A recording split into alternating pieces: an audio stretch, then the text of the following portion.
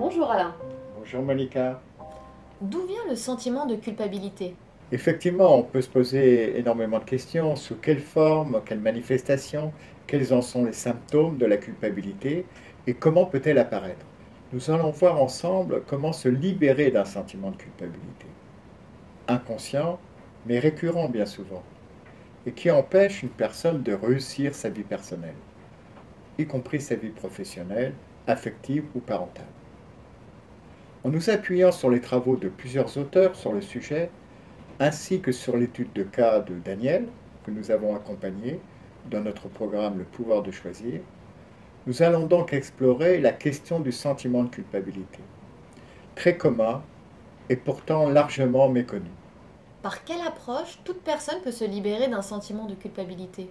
Les approches sont multiples, que ce soit par une thérapie ou du coaching, un accompagnement en développement personnel permet de s'en libérer notamment pour changer de vie, donner un sens à notre vie en cohérence avec nos besoins, nos désirs, afin d'accéder au bien-être et à un réel épanouissement. Quels sont les différents types de culpabilité? Vous avez raison Malika, le sentiment de culpabilité peut prendre différentes formes. Nous avons tout d'abord le sentiment de culpabilité sain. En effet, après avoir eu un comportement inapproprié, ou commis un acte en désaccord avec notre éthique, nos principes, ce sentiment nous rappelle à l'ordre. C'est une saine culpabilité qui nous permet d'agir autrement. Ce sentiment de culpabilité, tout le monde au cours de sa vie l'aura croisé. C'est une culpabilité saine qui permet de se recentrer sur ce qui, pour soi, a de la valeur.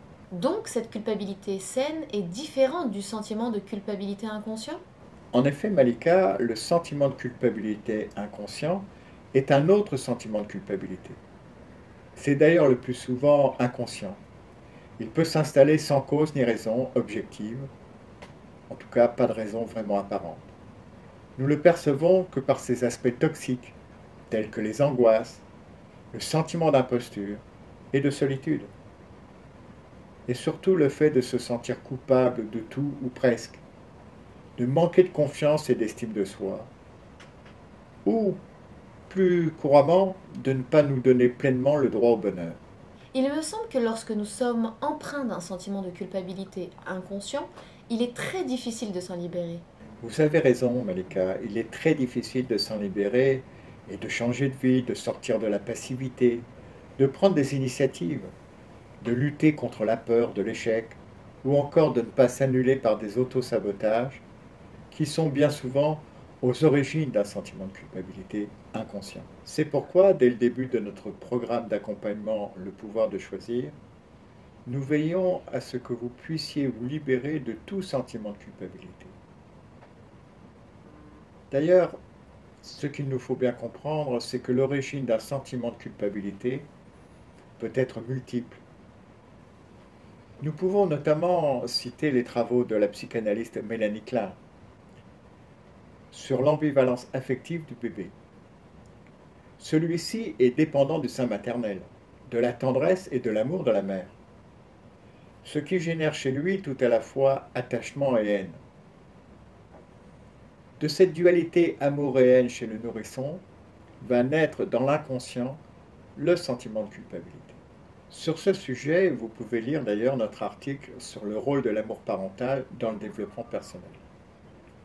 De même, je dois préciser que le médecin psychiatre psychanalyste Donald Winnicott a consacré une grande partie de sa vie à l'exploration de la relation précoce mère-enfant et à la reconstruction de la période d'extrême dépendance affective dans laquelle peuvent se trouver, nous allons le voir, les prémices d'un sentiment inconscient de culpabilité qui apparaîtra à l'âge adulte. Vous dites que l'enfant a le pouvoir d'inquiéter et de rassurer sa maman? De toute évidence, les relations mère-enfant sont extrêmement complexes. Le pédagogue et psychologue américain Bruno Bettelheim dialoguait avec les mères en leur demandant pourquoi leur enfant pleure. Vous le comprenez bien, évidemment, celles-ci lui expliquèrent que probablement le bébé a faim, il a soif, ou alors tout simplement il est fatigué. Or, Bettelheim leur posait également les questions suivantes. quelle est votre réaction quand votre enfant pleure? Et que se passe-t-il quand il retrouve son calme? Bien évidemment, la plupart des mamans répondirent qu'elles étaient inquiètes quand le bébé pleurait, et vraiment soulagées et rassurées, et même contentes, lorsque le bébé ne pleurait plus. Alors Bruno Bettelheim leur dit Voilà pourquoi parfois votre enfant pleure, pour avoir tour à tour le pouvoir de vous inquiéter et aussi de vous rassurer. Nous pouvons aussi évoquer la lutte entre l'enfant et la mère concernant la nourriture, la propreté. Et d'ailleurs, une des patientes euh, qui nous a rencontrés, un jour dans un entretien, me dit Je suis désolée devant l'attitude de mon fils. Manifestement, il n'est pas pressé de devenir propre. Je lui ai alors demandé Que feriez-vous s'il devenait propre?